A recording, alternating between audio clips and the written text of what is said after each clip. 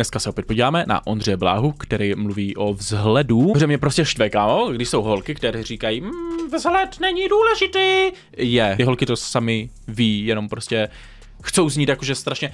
To mě úplně fascinuje, když holky chcou znít strašně liberálně a otevřeně a přece všichni jsou krásní a podobně, no ale potom budou jenom s klukem, který je hezky, nebo co se jim líbí.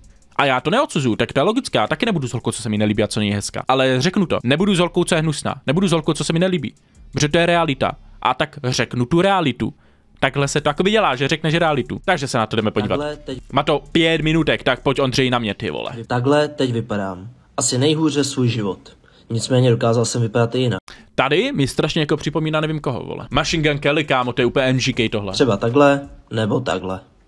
Už od útlého věku jsem byl motivován k tomu, To abych se nedá zrychlit. staral a abych Já to chtěl zrychlit. dbal o svůj vzhled. To je za mě dobře, ale za, za mě jenom dobře, když prostě jsou lidi nehnaní, ale vole, tla, netlačení, protože to, to má tu negativní konotaci, že to je násilím, ale prostě hnaní k tomu, že ať se o, o sebe starají, protože, protože by se o sebe nestaral. Ať už psychicky, fyzicky, anebo jakože vizuálně. Fyzicky beru jakože, že nebudeš obezní a vizuálně beru, že mm, nějaké rutiny, abys neměl jebaky a podobně. Už v 15 jsem začal dělat modeling, kde jsem chodil přehlídky nebo fotil různé kampaně. Vzhled byl samozřejmě vždy na prvním místě. No a v létě se mi stalo jedno zranění, které mě motivovalo k tomu, o čem tady dneska chci mluvit. Tak pojď. Při posledním zápase minulý sezóny jsem si přetrhl přední křížový val. A ah, kámo, v kolení ACL. To nechceš. Musel jsem na operaci a přišlo mi to jako dobrá chvíle na to tohle vyzkoušet. Již před operací jsem si řekl, že zkusím pár měsíců se o sebe nestarat jako detox. Tady můžete vidět ten průběh, jak to probíhalo, vlastně klasický andělská tvář a následně to šlo do kopru. Proto Počkejte, že nestarat se znamenalo, že se nestaral o svůj obličej, neholil se a trošku přibral? Nebo já nevím, co to je. Protože, no, dobrý zlobr. Jak můžete vidět, ty vousy ke mně Ty vole, kdo se fotí, kámo, na hajzlu bez trika, ty vole, co jsi dělal, sral, ty vole, odřej, prosím tě. prostě nejdou, roste mi to jako mráz na hovně. Ale samozřejmě mohly být i dobrý dny, kde za to mohlo samozřejmě světlo a úhel. Říkáte si, že to jsou jenom vousy, ale tak se podívejte, jak jsem vypadal tady a jak tady. Prostě se o sebe nestaral, kam. A já, jako víš co, když se o sebe někdo nestará, tak se o sebe nestarej, ty vole. A eh, dobře, a co já ti budu říkat, co máš dělat v životě. A přijde mi to strašně nevyužití potenciálu. Uvědom si jednu věc. My na tomhle světě, pokud máš štěstí, žijeme 80 až 100 let a to fakt musíš mít fesku vaš štěstí z pěle, vole. Protože chceš to celé prožít, jako hovno. Moje mentalita je být v co nejlepší kondici ve všech aspektech života a co nejvíce těch titěrných 80 let, když budu mít štěstí, tak prostě využít do maxima. Protože uvědom si, že eh, ty víš, co je potom, jakoby potom třeba nic není, víš co? A nebo potom je dvoje další život, nebo nebe, nebo cokoliv, ale taky je možné, že tam prostě je černo, vole, nic není po smrti. Takže ty jediné, co máš, je 80 let navždy, do konce konců, vole. 80 let. A to musíš mít štěstí. Tak proč bys si ho trávil na dně jako nějaký hovňous, ty vole? Chápeš? Když se o sebe budeš starat, tak budeš mít více příležitostí, kámo. Poznáš více lidí, více holek, ty vole, všechno, kámo. Proč bys, chápeš? Jako já nechápu lidi, co se o sebe nestarají, vole. A pak jsou ty vole lidi, kteří jakože se o sebe starají finančně, že jsou zajištění, no ale nestarají se o sebe psychicky, fyzicky ani vizuálně. Pak jsou lidi, co se starají tak, ale nestarají tak, kámo. Prostě život je až moc krátký na to, aby se o sebe nestaral a nevyužil života do maxima. Fakt jo. Tenhle projekt jsem nezačal dělat jenom kvůli tomu, abych dokázal něco sám sobě, ale abych něco dokázal i vám. A rád bych chtěl říct, že vzhled je extrémně důležitý k vašemu životu. Souhlasím stoprocentně. Protože upřímně s tím, jak moc o sebe dbáte a jak se o sebe staráte, tak vaše kvalita vašeho života jde rapidně k výšinám. Extrémně, to si můžete podívat kamo na holky, ty vole. To vidíš na českých influencerkách, teď se nikoho nechci dotknout, bohužel dotknu. Podívej se třeba na Dominiku Alágiu, já jsem na ní poslední dobou jel hodně, omluvám se. A tak si photoshopuje fotky, ty může si za to sama. Každopádně, vem si to tak, že co vlastně ta Dominika dělá na tom internetu? Proč by lidi měli sledovat? Lipsynkuje na TikToku písničky. Jede písnička a ona dělá na, na security. Chápu. Dělá tam tanečky, kde má obtáhlé oblečení nebo málo oblečení. To, že ona vydělává miliony ročně, je z toho, že je hezká. A ještě do toho si teda photoshopuje fotky, takže reálně hezká by nemusí, přestože ona v realitě je hezká, ale nemusíš být ani hezká v realitě. Jedno z dalších videí bude na borku, která je doslova AI, takže na to se připravte. A nemusíš být ani hezká, ale když se o sebe staráš, čistě to, že máš nějakou, dejme tomu, atletickou postavu, a vypadáš průměrně v obličeji, ale jenom to, že máš atletickou postavu, ti otevře tolik dveří, vole. Tak extrémně to zvýší kvalitu života, ty vole. Tomhle projektu totiž nešlo pouze o vousy, jak se na první dojem mohlo zdát. Vynechal jsem jakoukoliv skincare a vzhledem k mýmu zranění jsem nemohl dělat žádný sporty. Taky jsem kašlal na jakoukoliv stravu, tudíž moje figura šla rapidně dolů. No a co se může stát, když se na tyhle základní věci vykašlete? Jednoduchá věc, vaše sebevědomí jde automaticky dolů.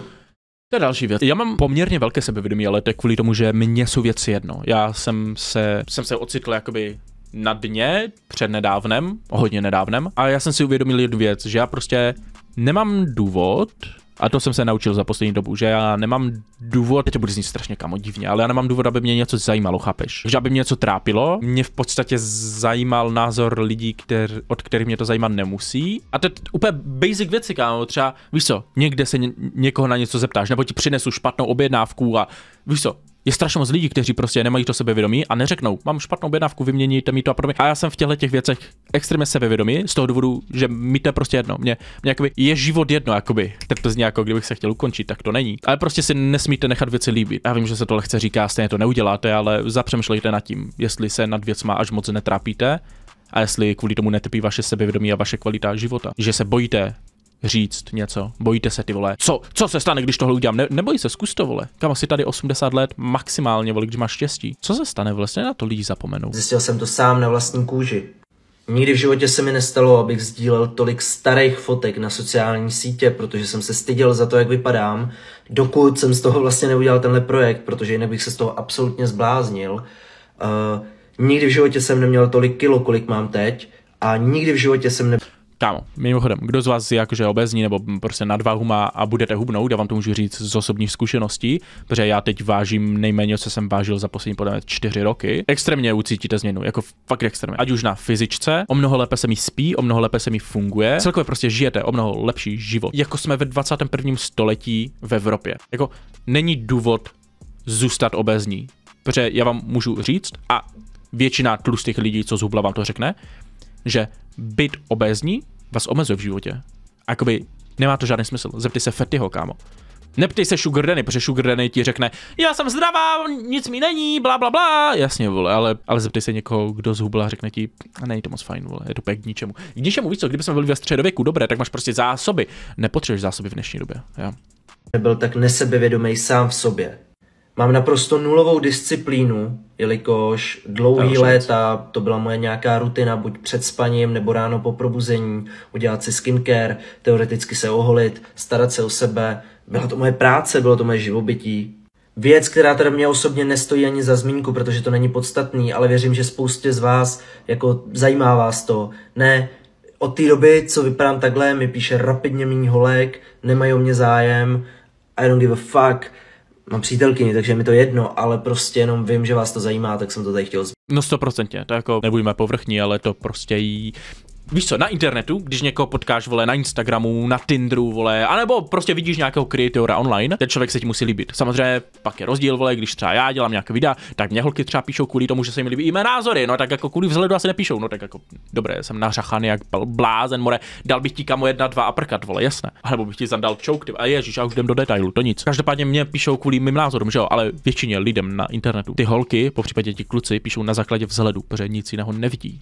Zmínit. A když budeš vypadat lépe, bude se o tebe zajímat lépe více lidí. Zároveň, když budeš někde, dejme tomu příklad si v klubu, jdeš za holkou. Ta holka tě odmítne nebo přijme, když k ní půjdeš na základě vzhledu. Protože ona tě odmít, ona řekne ne, anebo jo, pod na drink v prvních pěti sekundách. Ona neví, co jsi za člověka, ona nezná tvé kvality, jak všichni říkají, že je důležité, jak jsi uvnitř. To ta holka v prvních pěti sekundách, kdy ti dá odpověď, tak ona neví. Ona vidí, jak vypadáš, podle toho se rozhodne, jestli postoupíš do dalšího kola, pak možná prověří, jaký jsi. Ale první kolo je ten vzhled. Vzhled je extrémně důležitý. A kdo říká, že není, tak prostě lže, kámo. To je, to je vyloženě lež, že vzhled není důležitý. O dost méně mi píšou typky. Jediný plus je moje aktivita na Twitchi. Já tam... A jo, no tak prostě no life vole streamuje. Tam streamuju, před tou challenge jsem měl třeba na streamu, já nevím, 90 lidí průměrně, Včera jsme jich tam měli třeba 388. Díky tomu, že vlastně sedím jenom za kompem, nemám žádný Tohle to mimochodem se si všiml já, jak kdo z vás chodil ke na streamy, tak víte, že já jsem přestal streamovat někdy nevím, čtvrt roku dozadu asi. A je to z toho důvodu, že já v moment, co jsem to udělal a začal jsem více tlačit YouTube videa, protože já v tom nevidím potenciál. A taky to je tím, že o mnoho více networkuju, poznávám nové lidi, kteří, kamo, jsou kapacity, jak kde byl ty vole, takže mě to pomáhá v reálném životě. Já jsem si řekl, že prostě, abych se staral o sebe, abych poznával nové lidi a abych celkově měl větší sociální baterku, protože může se to zdát, vole, jakože vůbec, ale Twitch a streamování hodně, ze, minimálně ze mě sálo tu sociální baterku, protože já nejsem nějak extra společenský, že bych, vole, se bavil s někým 12 hodin, takže když jsem 3-4 hodiny streamoval, tak to se mi vysálo na celý den. Pro mě to mělo extrémně pozitivní dopad, že ano, přestal jsem streamovat, vole, Přišel jsem o nějaký zdroj příjmu, měl jsem tam 15 2000 lidí průměr, ale poznal jsem extrémně moc nových, hodně vlivných lidí, což je jakoby super pro mě do života. Začal jsem více fungovat na YouTube, což mi vynahradilo v podstatě ten příjem z toho Twitche a mám o mnoho větší sociální baterku a dokážu o mnoho lépe fungovat v realitě a mám i více času, protože se nemusí připravovat před streamem, po streamu už vole jsem vymlety, takže tady jděte opaky. Já jsem byl jako on, streamoval jsem, víš co, za kompem 12 hodin, mezi tím, co on prostě žil ten život, já teď se snažím fungovat jako člověk, nejenom jako vole youtuber a Twitch streamer a on zase začal fungovat jako Twitch streamer. Žádný jiný Takže já můžu potvrdit, co říká, protože jsem to viděl na sobě. povinnosti a streamuju každý den, tak v tomhle se mi začalo dařit. To uznávám. Je mě smutný týče mého vzhledu neskutečně nešťastný a extrémně smutný. O to víc, když jsem se například podíval na své staré fotky z modelingu. Kámo, tak to je co můžeš dělat. Pokud vypadá špatně a podíváš se na doby, kdy jsi vypadal dobře, kámo, bum. Recept na depresi. A vím, že na to má. A že zahazují svůj potenciál. A to určitě můžete mít spousta z vás. Většina lidí ví, že zahazuje svůj potenciál a prostě s tím nic nedělá, protože jsou líní, kámo. A protože většina lidí si podobně neuvědomuje, jak extrémně velké benefity to bude mít. Oni si myslí, no tak zhubnu 10 kilo, ty vole, a e, začnu se starat o svoji pleť, ty vole, a začnu dělat nějaké sporty, ježišmar, no tak co mi to přinese. A ti lidi se neuvědomují, že víš, kolik je 10 kilo. Jako zubnou 10, dobře, něco z toho bude voda, dejme tomu 15 kg, když zubneš. Tam víš, jak extrémně jiný pocit budeš mít jenom ze sebe, když jsi tlustý a versus když te, třeba zubneš 15 kg jenom, jaký ty sám ze sebe budeš mít pocit. To ti tak zvedne sebevědomí. Z osobní zkušenosti vám můžu říct, že pokud jste opravdu sebevědomí, tak jakoby ty holky to z vás nějakým způsobem cítí a vidí to, a, a to je docela přitahuje. Takže pokud někdo tohle chcete dělat kvůli holkám, tak ano, když zhubneš a zvýšíš si tím sebevědomí, přitáhneš pak víc holky. Jednak na ten vzhled, druhá na to sebevědomí. Prostě já, tam nejsou žádné negativa. Prostě zlepšit se, zhubnout, starat se o sebe, v tom není ani jedno negativum. Dobře, je to náročné, ale kdyby to bylo lehké, tak je takový každý. Teď už ale dost keců a jdeme udělat z tohohle něco pořádného. Takže zatím. Takže tak no, lidi. Kámo, neudělej fuckboy pózu, prosím, neudělej fuckboy pózu, prosím. Takhle to vypadá. Prosím, prosím, prosím, prosím. Ne! Ondřej, já jsem ti věřil. Ondřej, já ti věřil. Tímhle jsem chtěl aspoň ukázat to, že spousta z vás nevyužívá svůj 100% potenciál a... Borec se oholil. máte určitě navíc, co se týče vašeho No, stoprocentně, to já s tímhle výdem jako nemůžu nesouhlasit. Vzhled je extrémně důležitý, kdo říká, že ne, tak prostě lže. To říkají lidi, kteří buď to chcou zapůsobit na ty hnusné lidi, aby z nich měli fanoušky, mě jedno říct, že na vzhledu záleží a že je důležité se o sebe starat. Jestli mě někdo nebude mít rád kvůli tomu, že říkám pravdu, a mně to nemůže být více jedno. Jakoby, kdybych lhal a někdo mě kvůli tomu neměl rád, to chápu, to pochopím. Ale když říkám pravdu, a někdo mě kvůli tomu nemá rád, tak jako člověk, co nesnese pravdu. Bohužel, ano, vzhled je důležitý.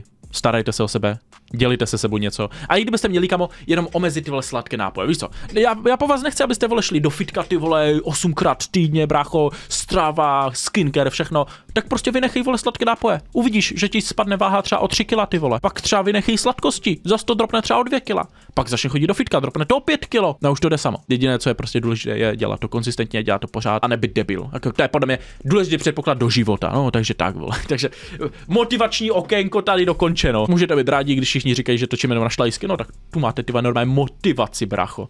Takže tak. Děkuji, že jste to sledovali, mějte se krásně a čau.